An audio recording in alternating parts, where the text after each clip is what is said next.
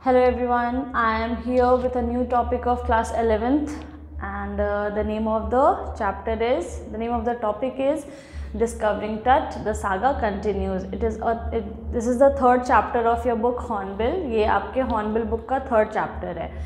So let's now start the chapter. Uh, Discovering Tut, the saga continues has been written by A.R. Williams. A R Williams बहुत ही ज़्यादा well known author English literature के तो नहीं है लेकिन modern modern time के यानी कि अभी के ये एक वेल नोन ऑथर हैं बेस्ट सेलर्स में से हैं। और uh, ये जब फोर्थ ग्रेड में थे when he was in fourth grade he started getting interested into writing और reading books and novels he he got his interest, he found that he is interested in writing books and novels and writing also. He wanted to become an author. तब fourth grade से इनको पता चला, इनको समझ में आया। At that time he started reading novels and stories like science fiction stories like X man and your Spiderman Batman these kind of comics he started reading उस टाइम से इन्होंने ये सब रीड करना शुरू किया and then he set his foot in the world of writing इन्होंने अपने कदम रखे राइटिंग की दुनिया में as an author science fiction author all right now about the chapter discovering Tut the saga continues first about the word Tut ये जो टट वर्ड है टी यू टी इसका दो प्रोनाउंसिएशन है, इसको आप टुट भी कह सकते हैं और टट भी कह सकते हैं. All right both the pronunciation is both the pronunciation are correct first thing i would like to tell you that uh, if you if you are going to read this chapter casually आपको ये chapter नहीं समझ में आएगा it would be so boring अगर आप इस chapter को ऐसे ही कैजुअली रीड करोगे आपको बिल्कुल ये चैप्टर नहीं समझ में आएगा। आपको लगेगा कि क्या है ये? सब ऊपर से चला जाएगा। But if you are going to first check the background and have a thorough reading about uh, about the about the background of the chapter अगर इस चैप्टर के बैकग्राउंड के बारे में अगर थोड़ा सा आप जान जाओगे और फिर इस चैप्टर को आप जब पढ़ोगे तो it would be very interesting इसमें बहुत सारे ऐसे इंटरेस्टिंग फैक्ट्स हैं क्यूरियोसिटी है जानने की इच्छा होगी आपको और all right so this is a very interesting chapter from my side because I know all the history and I know uh, about about discovering that. And uh, uh, all the background I have the detail details about the background of this chapter. तो इसीलिए ये chapter मुझे तो बहुत interesting लगता है। So so, इसीलिए I am recommending कि just get a background check of this chapter इसके पहले कि मैं भी आपको थोड़ा ब्रीफ तो दे ही दूँगी इस चैप्टर में लेकिन आपको भी इस चैप्टर के बैकग्राउंड के बारे में थोड़ा बहुत पता होना चाहिए। Now discovering Tut the saga continues ये एक सबसे पहले इसके बैकग्राउंड के बारे में बात करते हैं। तो this chapter the background of this chapter is Egyptian ये एक इजिप्शियन जगह की uh, का कहावत या यू कैन से ये एक इजिप्शियन फैक्ट है। ठीक है ये जो चैप्टर है वो इजिप्ट के बारे में है और वहाँ का एक वहाँ की एक सच्चाई है, वहाँ की, के हिस्ट्री के बारे में और एक वहाँ के हिस्ट्री से बिलोंग करता है इजिप्ट के हिस्ट्री से। इजिप्ट को पहले मिस्र भी बोला जाता था, मिस्र। ठीक है तो ये जो ये जो चैप्टर है ये हिस्ट्री के सॉरी इजिप्ट के हिस्ट्री से रिलेटेड है। सबसे पहली बात। दूसरी बात कि ये जो तट है या टुट है, वो एक राजा का नाम है। एक राजकुमार राजकुमार जो बाद में राजा बनता है, जिसने नौ साल तक शासन किया, लेकिन सडनली उसकी मौत हो जाती है, एक मिस्टीरियस डेथ हो जाता है उसका, जिसके बारे में किसी को भी नहीं पता। तो बैकग्राउंड चेक के लिए मैंने आपको क्यों बताया कि आपको क्यों ज़रूरी है? इसमें कुछ कुछ ऐसे वर्ड्स यूज़ किए गए हैं, जैसे देखो फेरो जैसे यहाँ पे डायनेस्टी होती थी मुग़ल डायनेस्टी चोला डायनेस्टी ठीक है, उसी तरीके से यहाँ पे इजिप्ट का एक डायनेस्टी था जिसका नाम था फैरो डायनेस्टी, ठीक है? और फैरोज राजा को, राजा महाराजा को बोला जाता था। तो उसका ये आखिरी एयर था H E A H E I R heir का मतलब उत्तराधिकारी। उत्तराधिकारी एयर मीन्स इसका the pronunciation of this word is air A I R का जो प्रोनाउंसिएशन होता है, वही इसका प्रोनाउंसिएशन है, दोनों होमोफोन्स हैं। All right air heir A I R air हवा H E I R a heir उत्तराधिकारी। दोनों होमोफोन्स हैं दोनों का साउंड सेम होता है स्पेलिंग अलग अलग होते हैं और मीनिंग भी डिफरेंट होता है। ऑल राइट तो आ, ये जो फेरो ये जो टट है और टुट ये फेरो डायनेस्टी का आखिरी उत्तराधिकारी था। ठीक है? ये जब राजा बनता है नौ साल तक ये शासन करता है और अचानक से बहुत कम उम्र में इसकी मृत्यु हो जाती है और उसका किसी को भी पता नहीं है कि आ, उसकी मृत्यु कैसे हुई है।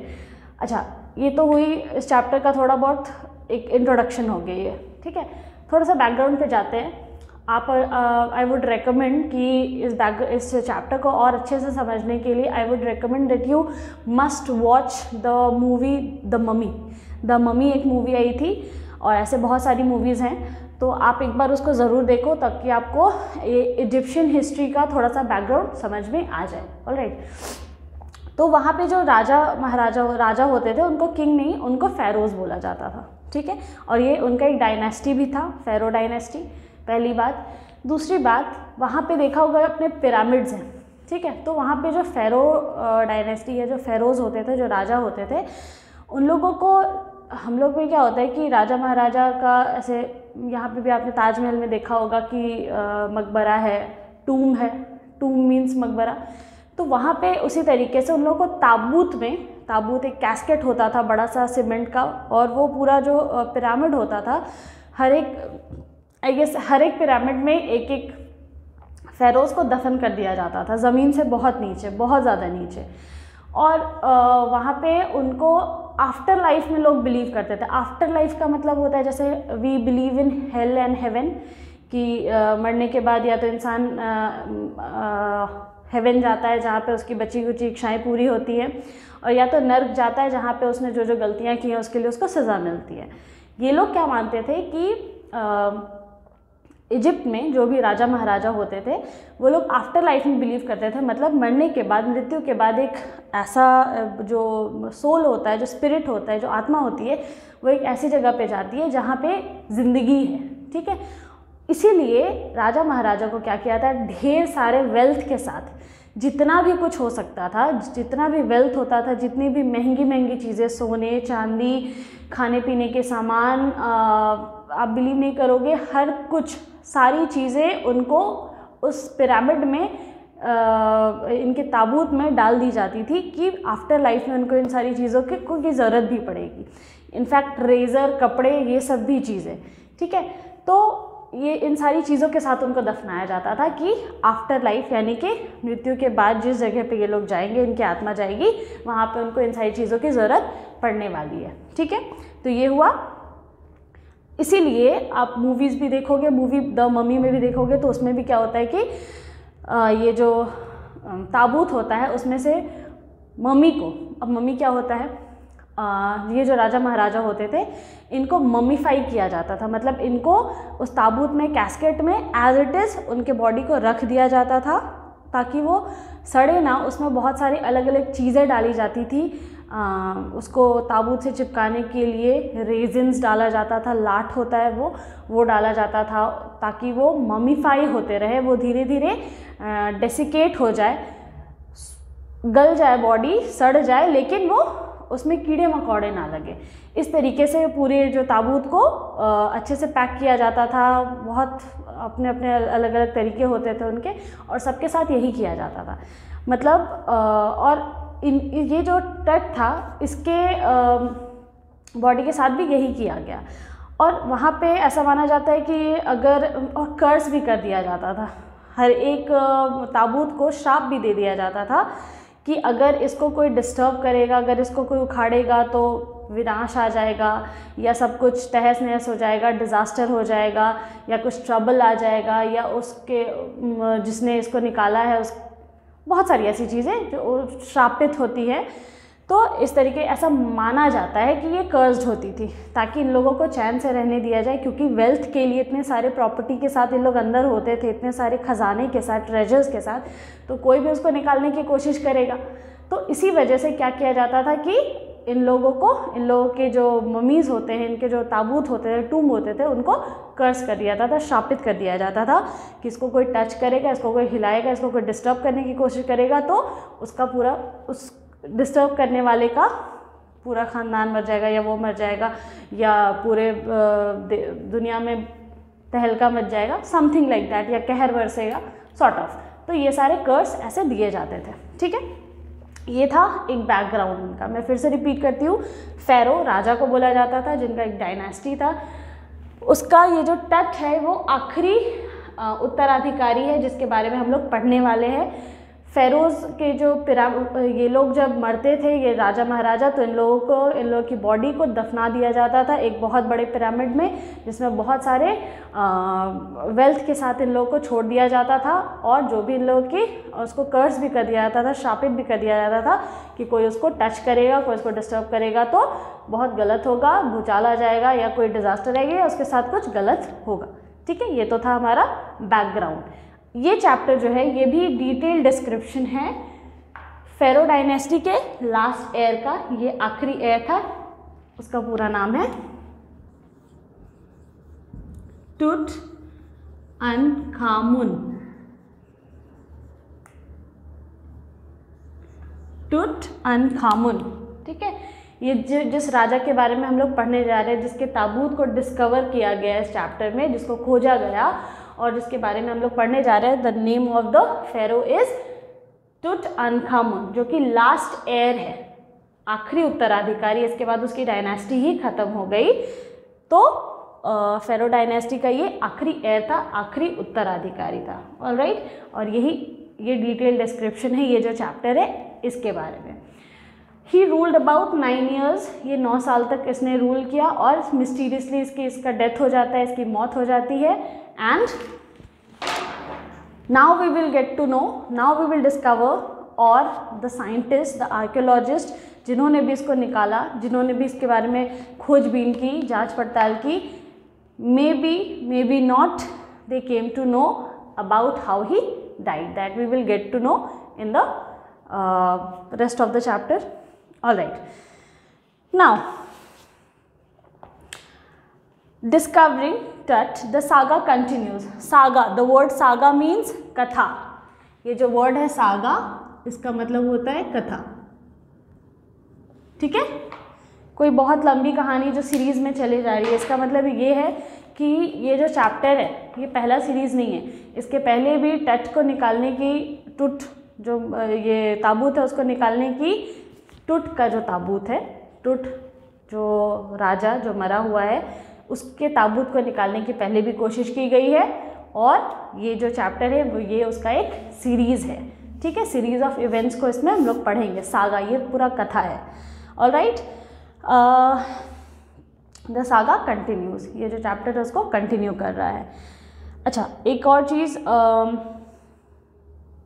no let's start he was just a teenager when he died ये महज एक लड़का था एक जवान लड़का बच्चा जब इसकी डेथ हुई the last heir of a powerful family that had ruled Egypt जैसा कि मैंने बताया कि ये आखिरी उत्तराधिकारी था एक बहुत पावरफुल फैमिली की, जो इजिप्ट पे रूल किया करती थी, शासन किया करती थी।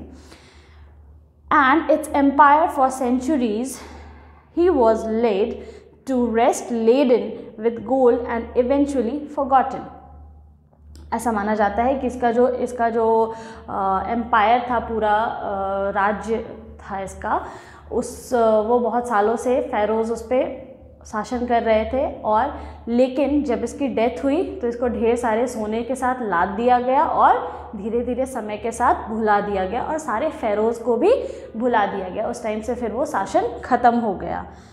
Since the discovery of his tomb in 1922, the modern world has speculated about what happened to him. First, इसका जो ताबूत है इसका जो टूम था उसको सबसे पहले कब खोला गया था? 1922 में। सबसे पहले ये जो इवेंट है ये यहीं यहीं से शुरू हुआ। जब ये मरा तो ये तो एक मिस्टीरियस डेथ इसकी मौत हुई ही थी। वहाँ से ये कथा शुरू होती है। फिर जाकर के 1922 में आ, इसके ताबूत को खोला गया इसके टूम को टूम को खोला गया इसके मकबरे को हटाया गया और तब से जा कर के ये लोग उस टाइम से जो आर्कियोलॉजिस्ट थे जो साइंटिस्ट थे वो डिस्क या पूरी दुनिया इस बात का पता लगाने की कोशिश कर है स्पेक्यूलेट कर रही है जाने की जाँच पड़ताल कर रही है कि आखिर उसके साथ हुआ क्या था। About what happen to him with murder being the most extreme possibility उस टाइम ऐसा माना गया था, या बहुत सारे जो आर्टिकल या बहुत सारे पुराने हिस्ट्री बुक्स आप पढ़ोगे, उसमें इसके बारे में ऐसा लिखा हुआ है कि इसको, इसकी इसकी जो डेथ हुई थी मलेरिया से हुई थी। इसको मच्छर ने काटा था और इसकी डेथ मलेरिया की वजह से हुई थी। लेकिन जब इसकी बॉडी को 1922 में निकाला गया, उसकी जाँच पड़ताल की गई तो सबसे पहला शक गया कि इसका मर्डर हुआ था। ये सबसे ज़्यादा पॉसिबिलिटी थी, एक एक्सट्रीम पॉसिबिलिटी सबसे ज़्यादा यू कैन से अंदाज़ा लगाया जा सकता था उसकी बॉडी को देख करके या जो भी उन्होंने खोजबीन की होगी, उससे सबसे ज़्यादा संभावना इसी बात की थी कि इसका मर्डर हुआ था। Now leaving his tomb for the first time in almost eighty years और अब, जब डिस्कवर तो ये 1922 में हो ही गया था, अब फिर से, बहुत सालों के बाद 80 साल के बाद, इसके टूम को क्या किया जा रहा है? ये अपने टूम से बाहर निकल रहा है। 80 साल के बाद ये अपने टूम से बाहर निकल रहा है। ठीक है? मतलब इसके बॉडी को लैब लेकर के जा रहे हैं। तो अपने टूम से बाहर निकल रहा है लीव कर रहा है, उसको छोड़ रहा है। कौन? टट टट की बात की जा रही है यहाँ पे। Tut has undergone or Tut has undergone a CT scan that offers new clues about his life and death. Tut को CT स्कैन में डाला गया और बहुत सारे ऐसे लैबोरेटरी में टेस्ट वगैरह हुए जिसमें नया क्लू सामने आया कोई नया हिंट मिला इन लोगों को, जिससे ये पता चलता है इसके ज़िंदगी और इसके मौत के बारे में। लोगों को बहुत सारी बातें, बहुत सारे रहस्य मालूम हुए। And provides precise data for an accurate forensic reconstruction of the boyish pharaoh और इसके बारे में बहुत ही शुद्ध, बहुत ही एक्यूरेट प्रीसाइज प्रीसाइज का मतलब होता है शुद्ध रूप से।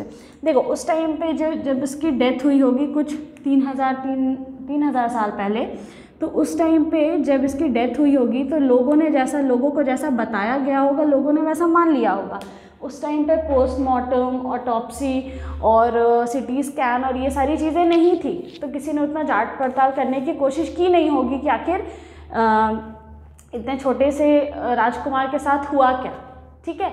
लेकिन अब जब उसकी बॉडी को डिस्कवर किया गया है, लोगों के पास एक नया टॉपिक है तो उस पर अच्छे से रिसर्च चल रही है। सिटी स्कैन हुआ, बहुत सारे ऐसे टेस्ट वगैरह कराए गए। बहुत सारे ऐसे लैबोरेटरी में अलग अलग स्कैन्स हुए होंगे, तब जा कर के इसके बारे में प्रीसाइज फॉरेंसिक डेटा मिला है। फॉरेंसिक रिकन्स्ट्रक्शन फॉरेंसिक का मतलब लैब में हर तरीके का उसके लाइफ और डेथ के बारे में जो भी, जैसे रिपोर्ट होता है ना लैब से जो चीज़ सर्टिफाई होकर के आती है, उसको फॉरेंसिक रिपोर्ट कहते हैं। तो प्रिसाइज का मतलब होता है शुद्ध एक्यूरेट ठीक है? तो अब जा कर के लोगों के पास एक प्रिसाइज डेटा है। All right right? कि इस बॉयश फैरो के साथ क्या हुआ था? इस लड़के बॉयश मीन्स लड़का, जो लड़का था ज़्यादा बड़ा तो था नहीं है और राज राजा बन चुका था ना अब ये तो हुआ बैकग्राउंड अब हम लोग चैप्टर को स्टार्ट करेंगे An angry wind stirred up ghostly dust devils as King Tut was taken from his resting place in the ancient Egyptian cemetery known as the Valley of the Kings. अच्छा जैसा कि मैंने आपको बताया कि आप एक बार मूवी देखोगे तो आपको फील आएगी, ठीक है? उसमें भी मूवी में भी यही होता है कि वहाँ पे वो लोग एक जब मम्मी जो मिलता है, उसको जब ले करके जाते हैं तो वेदर अचानक से बदल जाता है। उसी तरीके से यहाँ जब टट के बॉडी को टट के मकबरे को या उसके टूम को कैस्केट होता है ना, देखा होगा आपने, जिसमें कॉफिन जिसमें बॉडी को रखा जाता है, बंद किया जाता है, ताबूत, ठीक है? उसमें से क्या किया गया कि जब ले जाया जा रहा था तो हवाएँ बहुत एंग्री हो गई, यानी कि एंग्री विंड गुस्से वाला, जैसे कि जो नेचर है, उसके अगेंस्ट है, कि जो चीज़ जहाँ है, उसको वहाँ रहने दो, उसको डिस्टर्ब मत करो, नहीं तो कुछ गलत होगा। तो वैसी हवाएँ चलने लगी angry wind stirred up ghostly dust पूरी जो हवा होती है कभी कभी ऐसे हवाएँ चलती है, ना लगता है जैसे वहाँ पे भूत है। ठीक है तो जो डस्ट है वो उस तरीके से घूम रहा था घोस्टली भूताहा पूरा पूरी तरफ़ वैसा एनवायरनमेंट हो गया था, जैसे कुछ ना कुछ कोई ऐसी एंटिटी है आसपास मौजूद, जो कि नहीं चाहती है कि तट को वहाँ से ले जाया जाए। कि devil as King Tut was taken from his resting place जहाँ पे उसका मकबरा था, वहाँ वो शांति से था रेस्ट कर रहा था, वहाँ से उसको अब ले जाया जा रहा है। और ये कहाँ पे था? अभी तक तट को कहाँ रखा गया था? The valleys of the king में। जहाँ पे सारे द वैलीज ऑफ़ किंग्स यहीं पे जितने भी राजा महाराजा थे इजिप्ट के, जितने भी फेरोज थे, उनके, उनका ताबूत, उनका मकबरा टूम उनका कैस्केट उनका कॉफिन सब वहीं पर रखा जाता था, ढेर सारे वेल्थ के साथ अलग अलग पिरामिड्स में, उसको बोला जाता था राजाओं की घाटी, ठीक है? तो यहीं पे तट भी था, और अब यहाँ से इसको ले जाया जा रहा है। तो ये एक सिमेट्री था, कब्रिस्तान था वैली ऑफ़ द किंग जो है, ये एक एंशियंट बहुत पुराना इजिप्ट का कब्रिस्तान है, जिसका नाम दिया गया है the valleys of the king राजाओं की नगरी, राजाओं की घाटी, कुछ इस तरीके से, ठीक है? Dark bellied clouds had scudded across the desert sky all day and now were veiling the stars in cascade grey. Egypt uh, आपने देखा होगा जहाँ पे खास करके पिरामिड्स है और ये सब जो है जगहें वो ज़्यादातर रेत है रेगिस्तान है डेजर्ट है तो उस पर dark bellied crowd cloud dark belly belly का मतलब होता है पेट या कर्व कोई भी चीज़ तो डार्क कलर के जो क्लाउड्स थे, वो रेगिस्तान के ऊपर पूरी तरीके से छा गए थे। डार्क बेलीड बेलीड पेट बेली का मतलब होता है पेट B E double L Y लेकिन यहाँ पे इसका पास्ट टेंस लिखा हुआ है बेलीड डार्क बेलीड ठीक है? मतलब कर्वी मोटे मोटे बादल, काले काले बादल डेजर्ट के ऊपर छा गए हैं। And now had scudded across the desert scudded मतलब मूव कर रहे हैं। वहाँ से घेर, उस पूरे डेजर्ट को उन्होंने घेर लिया है। जैसे कि तूफ़ान आने वाला है, बहुत भयानक एनवायरनमेंट है। आसपास का का वातावरण बहुत ज़्यादा होस्टली हो गया है, भूताहा हो गया है, जैसे कुछ होने को है। ठीक है? और स्कडेड अक्रॉस का मतलब पूरी तरह से छा जाना, इस इधर उधर फैल जाना। All day and now were veiling the stars in the casket grey और उन्होंने क्या किया है? जो क्लाउड्स हैं, जो क्लाउड होंगे आसमान में तो सितारे चाँद तो दिखाई देंगे नहीं तो सारे सितारों को ये क्लाउड्स ने ढक दिया है। यानी कि एनवायरनमेंट पूरी तरीके से भुताव हो गया है। जब इनको ले जाया जा रहा है तो कुछ ऐसी एंटिटी है आसपास, जो कि ये कहने की कोशिश कर रही है कि मत छेड़ो। जो है जहाँ है, उसको रहने दो। और काले घने बादल आ चुके हैं, तूफ़ान उठ रहा है और आसमान में तारे भी दिखाई नहीं दे रहे हैं। It was six P M on five January two thousand five ये छः जनवरी पाँच जनवरी छः बजे शाम की बात है, दो हज़ार पाँच की। The world's most famous mummy mummy क्यों बोला जाता था इन लोगों को? क्योंकि इन लोगों को जलाया नहीं जाता था। इन लोगों को एक ताबूत में बंद कर दिया जाता था और डेसिकेट होने के लिए ममीफाई होने के लिए छोड़ दिया जाता था। आपने द मम्मी मूवी देखी होगी तो उसमें जो आदमी था उसको ज़िंदा क्या किया जाता है? पट्टी से बाँध करके बैंडेड करके ताबूत में ज़िंदा बंद कर दिया जाता था। कर दिया गया था? क्योंकि उसको सज़ा दी गई थी। इसके साथ ऐसा नहीं हुआ था। ये बाकायदा इसकी डेथ हुई थी। और तब इसके बॉडी को वैसे ही उसमें छोड़ दिया गया था। अब ये पूरी तरीके से डेसिकेट हो चुका है मतलब पिघल चुका है, सड़ चुका है, ठीक है?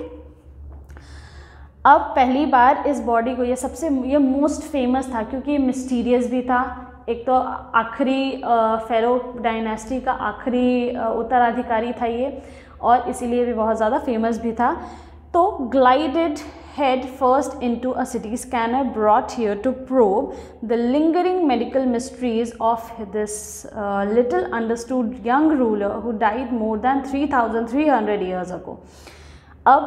दुनिया के सबसे फ़ेमस सबसे पॉपुलर uh, ममी को glided head first into a CT scanner सबसे पहले ले जाया गया तो कहाँ प्रस्थान किया ये सिटी स्कैनर में भेजा गया है इसको ब्रॉट हियर टू प्रोब यहाँ पे इसको प्रोब मतलब जाँच पड़ताल करने के लिए लाया गया। The lingering medical mystery lingering मतलब इतने सालों से लिंगर का मतलब होता है खींचना। जो इतने सालों से इसके जो मेडिकल मिस्ट्री खींची जा रही है, खींची जा रही है, खींची जा रही है कि आखिर इसको हुआ क्या था, मैं तीन हज़ार साल पहले की बात नहीं कर रही हूँ। तीन हज़ार साल पहले इसकी डेथ हुई थी। उसके बाद से कई बार इसको ढूँढने की कोशिश की गई है, कई बार इसको निकालने की कोशिश गई है, की गई है।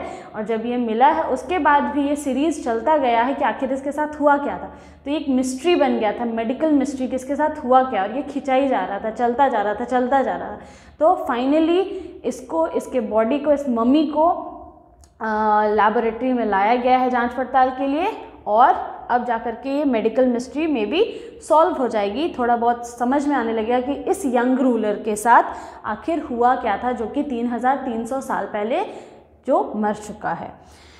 All afternoon the usual line of tourist from around the world has descended into the crammed पूरे दिन। अब पिरामिड घूमने के लिए बहुत सारे रूलर्स आते हैं। फेरो के ये टूम को देखने के लिए भी बहुत सारे रूलर नहीं आई मीन सॉरी टूरिस्ट आते हैं, बहुत सारे पिरामिड में भी म्यूज़ियम में भी रखा जाता है इन लोगों को। तो जहाँ भी टूरिस्ट ऐसे ऐसे कुछ भी हिस्टोरिकल चीज़ें होती हैं, वहाँ टूरिस्ट होते ही हैं। तो दिन भर से जो लाइन है, वो क्या हो गई डिसेंड हो गई, एक जगह क्राउड बन गई है। पहले टूरिस्ट आते हैं तो उन लोगों को घूमने से मतलब होता है, लेकिन अभी क्या हो गया है कि इन किसकी जो बॉडी को ले जाया गया है तो ये एक टॉपिक ऑफ़ डिस्कशन बन चुका है। और सब लोग क्या किए? क्रैम्प हो गए एक जगह पे झुंड बना लिए हैं ठीक है? और बातें कर रहे हैं। Rock out sorry rock cut tomb some 20 feet under 26 feet underground to pay their respect और सब लोग आ, उसको खोद इसके बॉडी को जो आर्कियोलॉजिस्ट ने खदान वदान में खोदा होगा तो 26 फीट ज़मीन से ये लोग 26 फीट नीचे हैं और टूरिस्ट भी वहाँ पे इसको देखने के लिए कि यहाँ क्या हुआ है कैसे हुआ है कौन था ये सब जानने के लिए टूरिस्ट भी वहाँ पहुँच चुके हैं ये अपना रेस्पेक्ट देने के लिए इसको आदर देने के लिए भी वहाँ पे पहुँचे हुए हैं they gazed at the murals on the wall of the burial chamber and peered at Tut's glided face, the most striking feature of this mummy-shaped outer coffin lid. They gazed at the murals murals का मतलब होता है painting पहले के जो buildings होते थे तो उसके दीवारों पर क्या होते थे? पेंटिंग या कार्विंग्स होती थी. उसको दीवार को काट काट करके या उस पर पेंटिंग कर दिया जाता था या तो म्यूरल का मतलब होता है पेंटिंग ठीक है? तो उसको जो टूरिस्ट हैं वो लोग बहुत ध्यान से दे गेज्ड घूर रहे हैं, ध्यान से देख रहे हैं murals of the wall wall दीवार पे जो पेंटिंग बनी हुई है उसको ऑफ़ द ब्यूरियल चैम्बर जहाँ पे इसका बरियल चैम्बर था ना, जहाँ पे इसको गाड़ा गया था, जहाँ पे इसको रखा गया था, वहाँ एक चेम्बर था।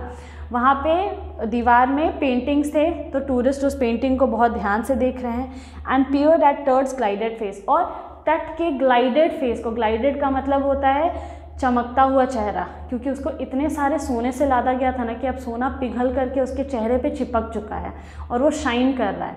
और वो उसको क्या कर रहे हैं? वो लोग बहुत ध्यान से उसको देख रहे हैं। The most striking feature of the mummy shaped outer coffin lid और अभी तक ये लोग उसके चेहरे को नहीं देख पाए हैं। अभी ये लोग उसके ऊपर ढका हुआ लिड को देख रहे हैं। कॉफिन के ऊपर एक ढक्कन भी है।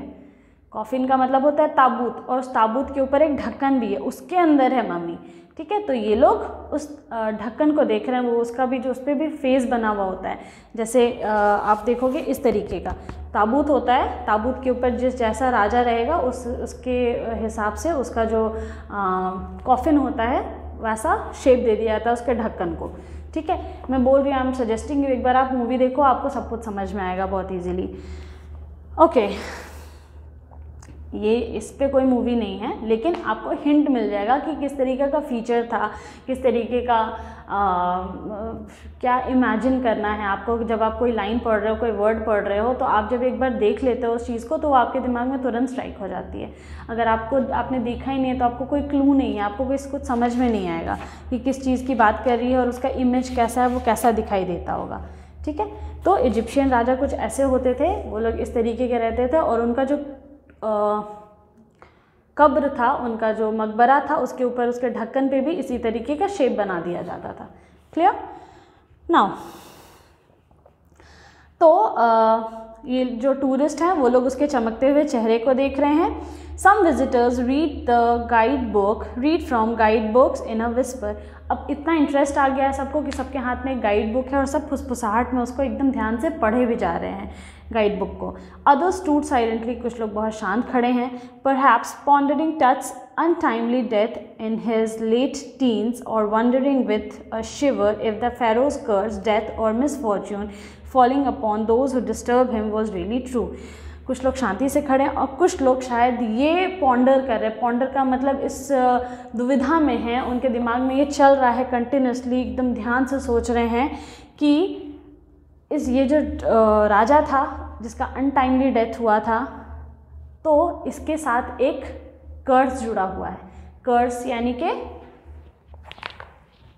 श्राप।